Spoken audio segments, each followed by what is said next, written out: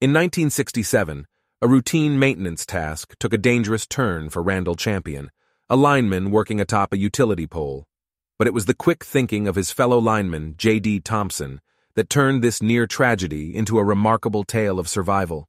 One accidental touch sent an electric shock through Champion's body, stopping his heart. But thanks to his safety harness, he didn't fall.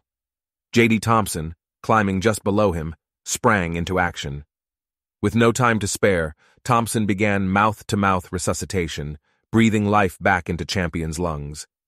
Detecting a faint pulse, he released Champion's harness and carefully brought him down on his shoulder.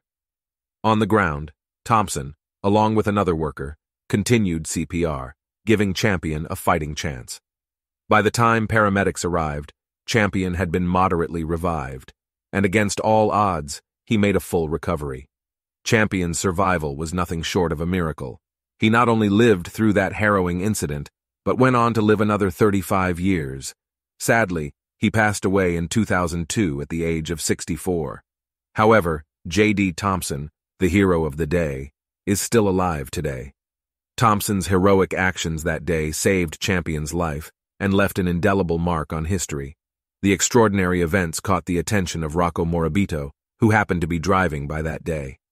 Morabito quickly called for an ambulance and grabbed his camera, capturing the iconic photograph known as the Kiss of Life.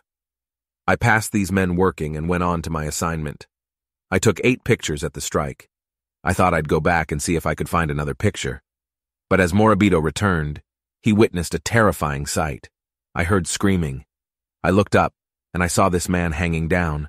Oh my God, I didn't know what to do. I quickly took a picture. Thompson, alerted by the commotion, rushed to the pole.